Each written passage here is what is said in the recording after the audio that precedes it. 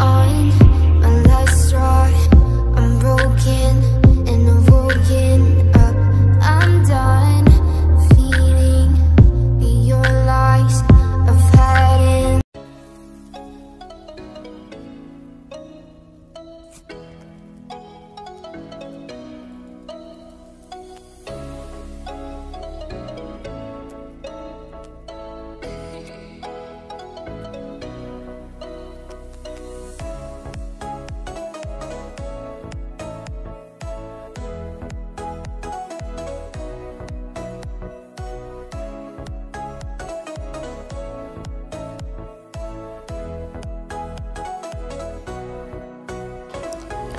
असलकुम hello friends welcome back to my YouTube channel और कैसे हो आप सभी? मैं उम्मीद करती हूँ आप सब बहुत अच्छे से होंगे और अपनी अपनी फैमिली के साथ बहुत खैर खैरियत से होंगे। तो यहाँ, ये है बिल्कुल सुबह सुबह मॉर्निंग का वक्त है।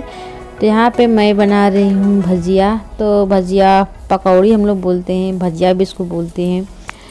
तो वही मैं बना रही हूँ और ये मैं बना रही हूँ मूली, प्याज और बैगन के पकौड़े। तो बहुत अच्छे लगते हैं ये पकौड़े। और ठंडी का मौसम में कुछ हमारे यहाँ बहुत ज़्यादा दो दिनों से बहुत ज़्यादा ठंड पड़ रही है, बहुत ज़्यादा।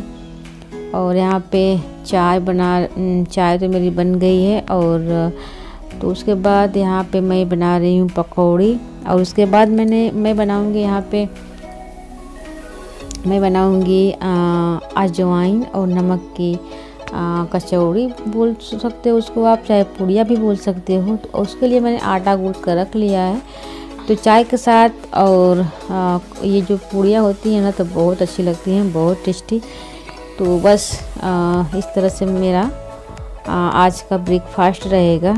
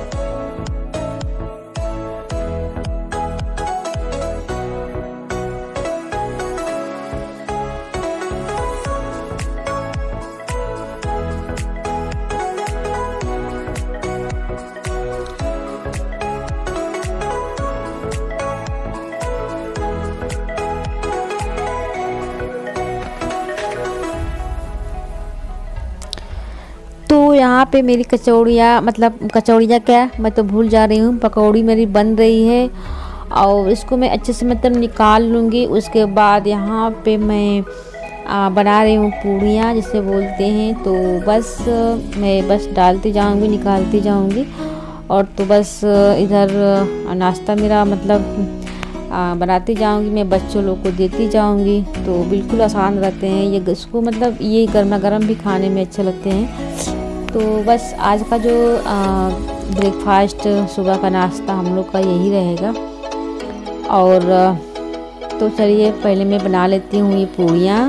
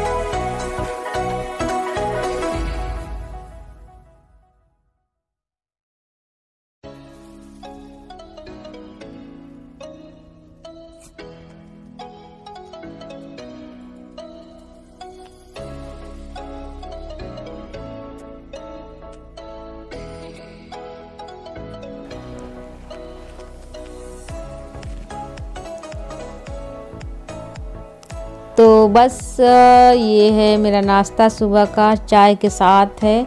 चाय मैंने नहीं मतलब रखी है। मतलब चाय मैंने पी ली है पहले ही और यहाँ पे मैं लगा कर खा लूँगी। भुना चिकन है और मतलब पूड़ियाँ हैं और ये पकौड़ियाँ हैं। तो बस नाश्ता हम लोग का हो जाएगा बहुत और इसके साथ ना बहुत अच्छे से नाश्ता हो जाता है। और हम लोग सुबह सुबह थोड़ा हैवी नाश्ता लेते हैं। हल्के फुल्के नाश्ता से हम लोग का काम नहीं चलता है। थोड़ा हम लोग हैवी नाश्ता लेते हैं, क्योंकि रात भर तो पेट खाली रहता है तो सुबह थोड़ा हैवी माँगता है।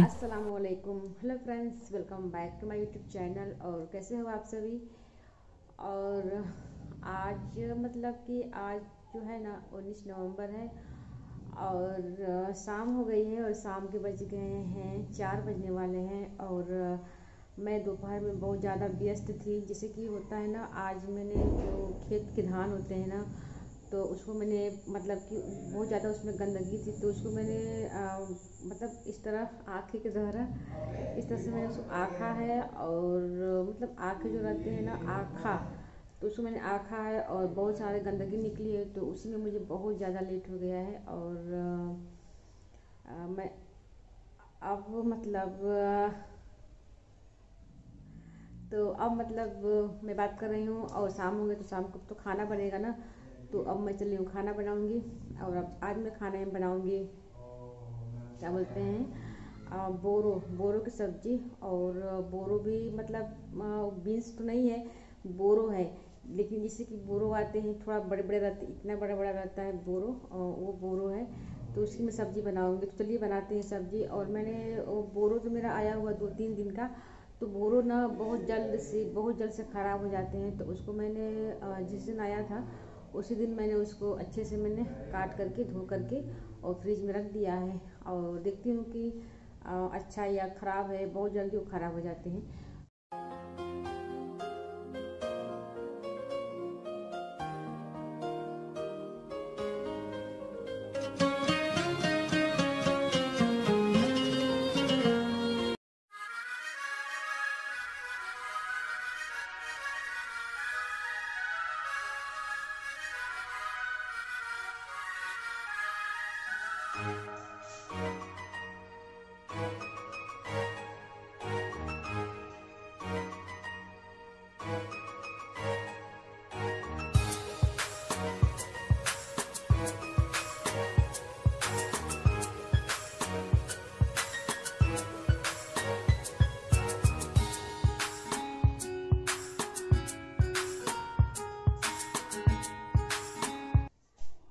मैं आ गई हूँ और मैंने तैयारियाँ कर ली है। सब्ज़ी मैंने तो पहले से मैंने कट कर दिया था फ्रिज में और यहाँ पे बस मैंने सब्ज़ी को एक बार और धो लिया है और ये देखो प्याज और प्याज है ये ये प्याज है और प्याज इतनी महँगी है ना, इतनी महँगी प्याज है ना कि देखो मैंने प्याज को कितना छोटा सा प्याज मैंने कट किया है।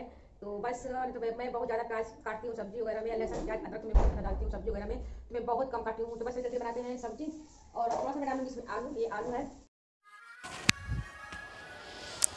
और यहाँ पे बन रही है मेरी सब्ज़ी। जो सब्ज़ी बनती है ना अक्सर मैं सब्ज़ी बनाती हूँ, कुकर में ही सब्ज़ी बनाती हूँ प्रेशर कुकर में ही, क्योंकि कढ़ाई में मैं सब्ज़ियाँ बहुत कम बनाती हूँ।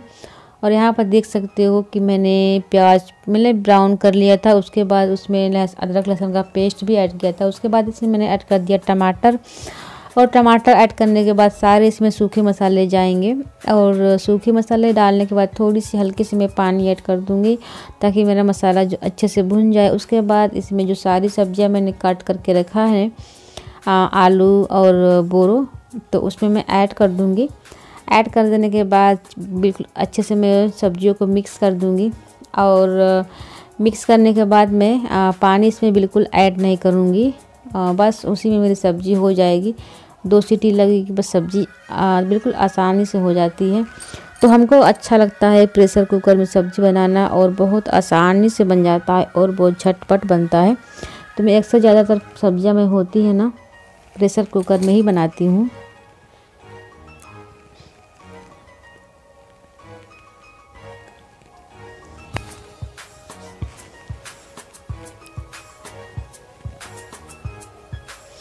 और पता नहीं क्यों आजकल मुझे ना वॉइस ओवर करने का बिल्कुल मन नहीं कर रहा है तो मैं बहुत आ, कम बोल रही हूँ। वॉइस ओवर ओवर कर वॉइस वॉइस ओवर करने का बिल्कुल मेरा जी नहीं कर रहा है तो मैं बहुत कम कर रही हूँ। तो देखिए यहाँ पे मैं आ, मसाले आ, बिल्कुल सब कुछ इसमें ऐड कर दिया है। उसके बाद ये मैं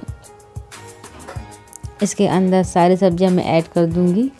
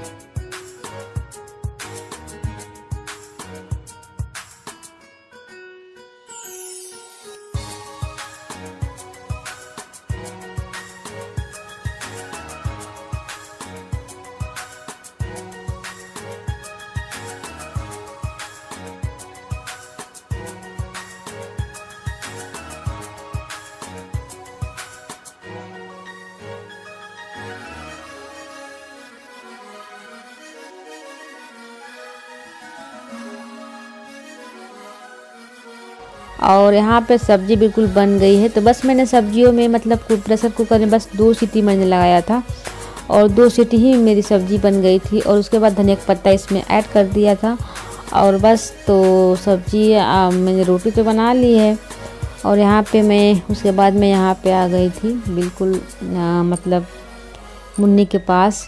जब तक मैं नहीं रहूँगी यहाँ पर तो बैठती नहीं है और मैं तो इसे बिल्कुल परेशान हो चुकी हूँ, बिल्कुल परेशान हो चुकी हूँ, क्योंकि जब से स्कूल वगैरह बंद है, बच्चे बिल्कुल पढ़ाई नहीं कर रहे हैं, चाहे वो छोटा हो या बड़ा हो।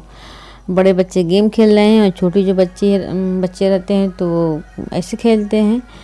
तो बस मैं बहुत परेशान हो गई हूँ और जब तक इसको कोई लेकर नहीं बैठेगा, तब तक ये पढ़ती नहीं है और बस थोड़ी सी लॉकडाउन में मतलब छुट्टियों वगैरह में मतलब छुट्टी तो है ही और हमें नहीं लग रहा है कि मतलब स्कूल चालू होगा बच्चे लोग का। स्कूल लग रहा है कि हमें ये जो सत्र है ना बिल्कुल बगैर पढ़ाई के ही जाएगा बगैर स्कूल के ही जाएगा।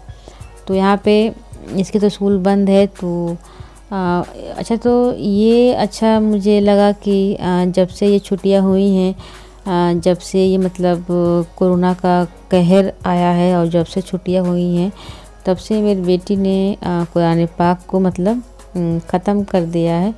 बस लास्ट पारा बच गया है, तीसवा पारा। तो वही मैं बोल रही थी कि ये काम बहुत अच्छा हुआ है, क्योंकि बहुत खुशी की बात है कि इसने मतलब कुरान शरीफ कुरान शरीफ ख़त्म करने वाली हैं मेरी बेटी और देखिए तो दो चार दिन में वो भी ख़त्म कर देंगी। और उर्दू भी पढ़ती हैं और कुरान पाक भी पढ़ती हैं और इन दोनों में मतलब कि इन इनका मन लग रहा है अच्छे से, लेकिन जो इंग्लिश और हिंदी है ना, उसमें इसका बिल्कुल मन नहीं लग रहा है। तो बस मैं सोच रही हूँ कि साथ में ये भी पढ़ें और दिन इस्लाम तालीम के लिए तो कुरान पाक उर्दू पढ़ना बहुत ज़रूरी है, लेकिन वक्त के हिसाब से, वक्त के मतलब ज़माने के हिसाब से हम लोग को इंग्लिश और हिंदी वो भी बहुत ज़रूरी है पढ़ना। तो बस वही मैं देख रही हूँ, बोल रही हूँ, क्या कर रही हूँ। तो बस ये रहा मेरा आज का जो ब्लॉग था तो यहीं तक था और चैनल पे मेरे जो नए होंगे तो प्लीज़ सब्सक्राइब ज़रूर कर लेंगे। और यहाँ पे चलिए मिलती हूँ मैं अपने अच्छे से ब्लॉग में, अच्छे से वीडियो में। तब तक के लिए अल्लाह हाफिज़ take care bye bye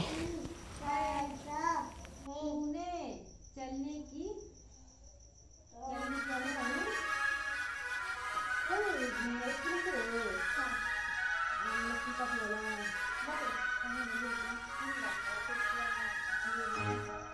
I'm